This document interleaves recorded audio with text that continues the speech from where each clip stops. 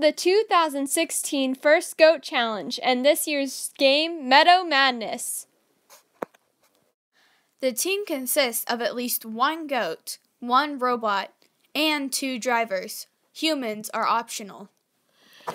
The robot must be built by materials specified in the game manual and fit within an 18 foot sizing cube. Each match is played with randomly selected teams, one per alliance. You may be on the blue alliance for one match and the red alliance for the next. The playing field is a field with one circle. Goat with the robot starts outside the circle. Tape a circle on your field. Make sure the goat doesn't eat your field. There's a 30 second autonomous period, then a 2 minute driver control period with a 30 second end game. During autonomous, if your robot moves, you get 10 points. If you just sit there and do nothing, you get 5 points.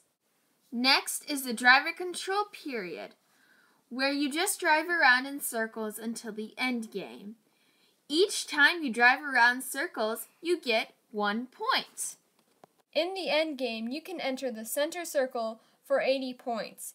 You get a penalty of 120 points if your goat falls off the robot.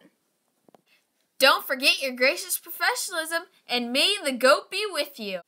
Good luck, teams, and go First Goat Challenge!